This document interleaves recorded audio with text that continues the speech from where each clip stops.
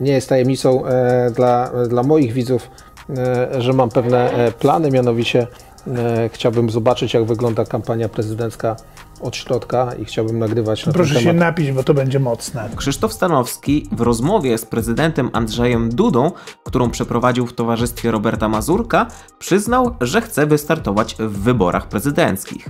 To nie żart. Dodatkowo pojawia się masa teorii, jakoby Stanowski był wysłannikiem PiSu oraz wybuchła drama o sweter Krzysztofa Stanowskiego, który miał na sobie podczas wywiadu. Ale po kolei. 2 lutego o godzinie 20.30 na kanale Zero został wyemitowany wywiad z prezydentem Andrzejem Dudą, który poprowadzili panowie Krzysztof Stanowski i Robert Mazurek. Duet dobrze wcześniej znany z kanału sportowego. Początkowo planowano przeprowadzić wywiad w formie live'a, jednak ze względu na problemy logistyczne otrzymaliśmy finalnie nagranie. Obiecano brak cięć podczas materiału, i ja faktycznie tych cięć nie dostrzegłem. Nie jestem jednak specjalistą, więc nie wiem, czy mając odpowiednie umiejętności, nie da się w takim wideo czegoś poprzestawiać. Zakładam, że byłoby to trudne, ale nie niemożliwe. Nie chcę jednak wprowadzać takiej narracji, bo nic nie wskazuje na to, aby w materiale były jakiekolwiek cięcia, a skupić się przede wszystkim na omówieniu tego, co się podczas wywiadu wydarzyło. A wydarzyła się kulturalna, merytoryczna rozmowa głowy naszego kraju z dziennikarzami, którzy są powszechnie szanowani, którzy wzbudzają zaufanie społeczeństwa. Z duetu Mazurek-Stanowski to ten pierwszy był zdecydowanie bardziej aktywny podczas rozmowy. Stanowski przyjął niejako strategię bycia sidemanem, nie wtrącał się, pozwalał Mazurkowi mówić. Wydaje mi się, że to ze względu na to, że Robert posiada większą wiedzę z zakresu polityki. Jeżeli spojrzeć na ocenę filmu na YouTubie i komentarze pod nim, można wywnioskować, że wywiad przypadł do gustu widzom. Wielkie brawa za normalność w tym wywiadzie, bez jakiejś reżyserki. Nikt nigdy w historii polskiego dziennikarstwa nie przeprowadził takiej rozmowy z głową państwa. Bez konwenansów, ale z szacunkiem. Ostro, ale bez zbędnej egzaltacji, która kazałaby udowadniać, że dziennikarz musi wyjść zwycięsko z rozmowy. Szacunek, podziw i szacunek, bo nie wiem, czy wspomniałem.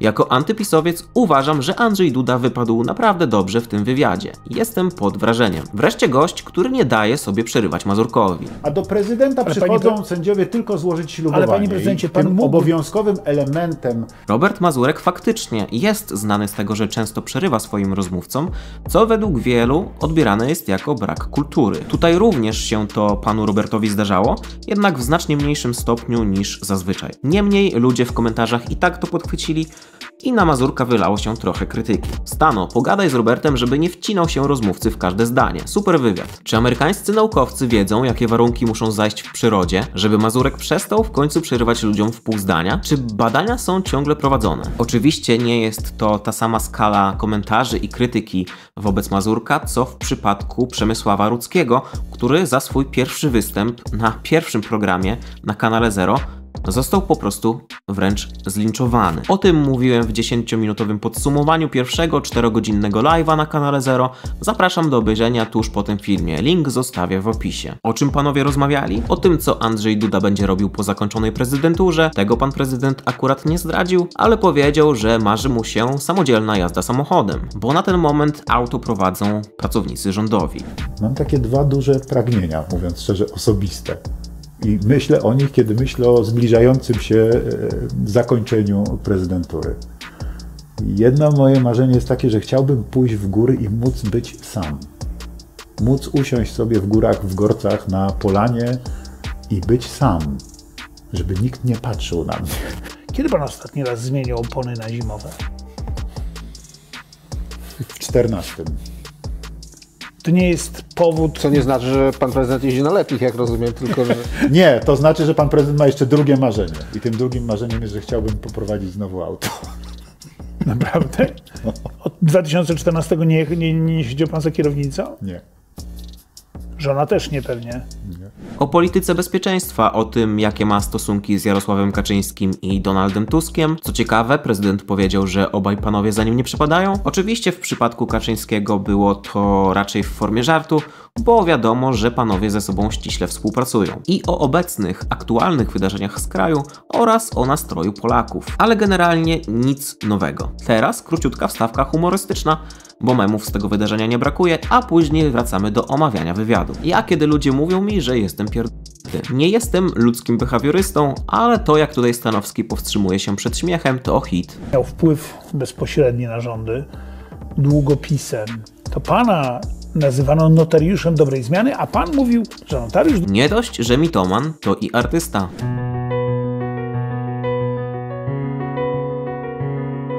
To chyba rozbawiło mnie najbardziej. Wracając do wywiadu. Krzysztof Stanowski pod koniec wywiadu ogłosił, że zamierza wystartować w wyborach prezydenckich, aby sprawdzić, jak to jest prowadzić kampanię prezydencką. Nie jest tajemnicą e, dla, dla moich widzów, e, że mam pewne e, plany, mianowicie e, chciałbym zobaczyć, jak wygląda kampania prezydencka od środka i chciałbym nagrywać na Proszę ten się temat. napić, bo to będzie mocne, co E, powiem. Mam zamiar nagrywać na ten temat różnego rodzaju vlogi. Chciałbym, żeby kamera ze mną podążała. Chciałbym zobaczyć, jak to jest być kandydatem na prezydenta, e, a nie da się tego zrobić inaczej niż startując w wyborach na prezydenta. W związku z czym zamierzam to zrobić. I tak e, słuchałem pana prezydenta przez cały wywiad, się zastanawiam, doradza mi pan ten ruch, czy odradza? Fajnie będzie, czy nie?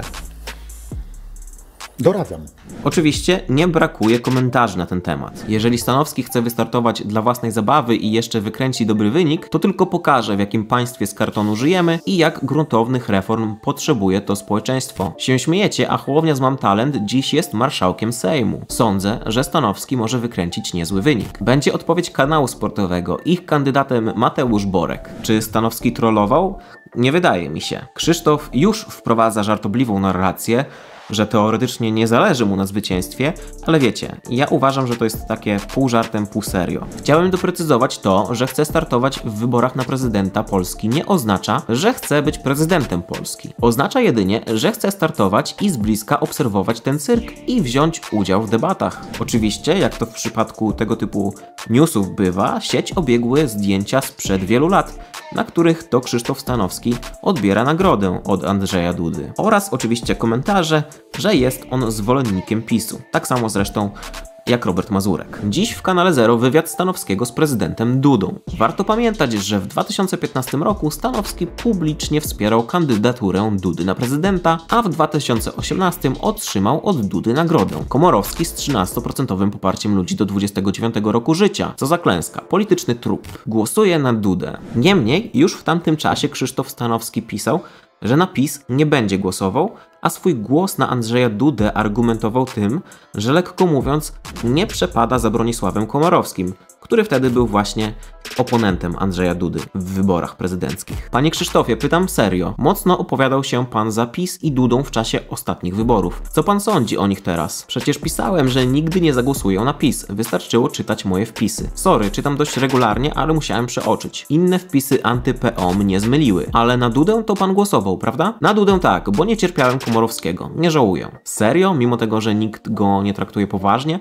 Nawet on siebie samego? Dobrze, pozostał nam jeszcze temat swetra Krzysztofa Stanowskiego. Krzysztof Stanowski na swoich mediach społecznościowych wyśmiał artykuł na pudelku, który traktował właśnie o tym wywiadzie. Jak wygląda ten artykuł? No jest dość stronniczy. Problem z nim jest taki, że swoją narrację, jakoby wywiad był tragiczny, buduje na podstawie kilku komentarzy, które nie mają nawet polubień lub były wyświetlone bardzo niewiele razy. W artykule pada również zarzut wobec ubioru pana Stanowskiego i Mazurka. Uwagę internautów przykuły także stroje, które dziennikarze wybrali na spotkanie z prezydentem. Stanowski się ubrał jak do grabienia liści na jesień, a Mazurek klasycznie, czyli udaje emeryta z Niemiec na wakacjach na Teneryfie. Stanowski postanowił tę docinkę skomentować. Aż zajrzałem w komentarze na YouTubie i są o dziwo bardzo pozytywne. Chyba są jednak tacy, którym się ten wywiad podobał. Co do stroju, był taki, jaki ustalono dwa dni wcześniej. Jeśli komuś się wydaje, że takich rzeczy się nie ustala, to nie jest za mądry. Ponadto lubię ten sweter. I to by było na tyle, jeżeli chodzi o dramę ze swetrem. Stanowski wyśmiał jeszcze wynik głosowania na portalu gazeta.pl, który no mocno spolaryzował głosujących. 36% zagłosowało, że bardzo dobrze ocenia wywiad, 34% że bardzo słabo. Więc skrajnie. Dziękuję za obejrzenie materiału do końca. Jeżeli Ci się spodobał, rozważ proszę zostawienie swojej subskrypcji. W przypadku małych, rozwijających się kanałów takich jak mój, te subskrypcje są naprawdę szalenie istotne. Zapraszam Cię również na mojego Instagrama, nazywam się tam Lisowski YT, nazwa wyświetla się teraz również na ekranie. Na ten moment mam jedynie kilkanaście obserwacji, za które oczywiście bardzo dziękuję, więc będzie mi niezmiernie miło, jeżeli wpadniesz i zostawisz followa. Cześć!